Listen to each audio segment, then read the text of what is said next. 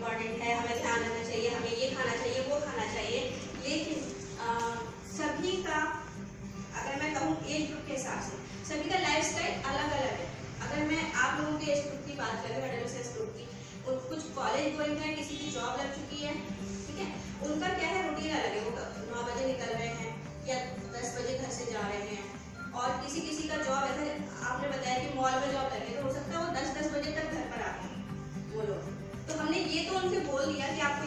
these nutritions and they keep on taking the fast food and all that. So they should know what is nutrition and they should know what are minerals.